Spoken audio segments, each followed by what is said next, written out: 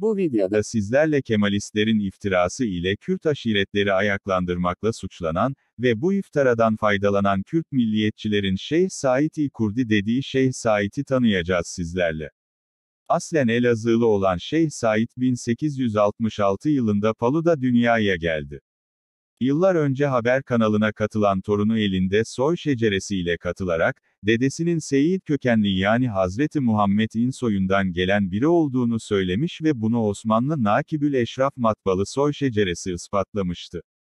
Fakat bu olay Kemalist ve milliyetçi Kürtleri çok kızdırmıştı.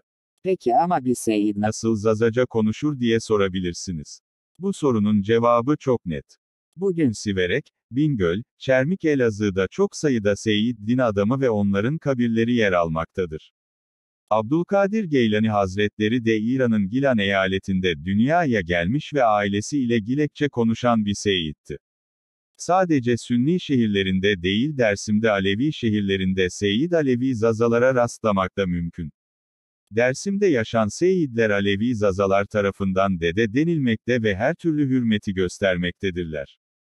Şeyh Said, Atalarının olduğu yolda, yani hak yolda canını siper etmiş ve hilafeti Kemalistlere karşı korumak için Doğu Anadolu'da yaşayan Zaza, Kürt, Arap, hatta Kafkas göçmeni halkları birleştirerek hilafeti korumak için mücadele etti, ancak Şeyh Said dönemin Kemalist yönetimi tarafından idam cezası ile cezalandırıldı. O dönemde yaşayan insanların söylediklerine göre, Şeyh Said iki kez idam sehpasında iken ipi asılı olduğu yerden kopmuş ve Allah'ın mucizesine layık olmuştur, ancak ölümden korkmayan Şeyh Said üçüncü idam denemesi için ipi kendi boynuna yerleştirerek Yüce Allah'a kendisinin şehit olmasına izin vermesini istemiş ve orada asılarak şehit olmuştur.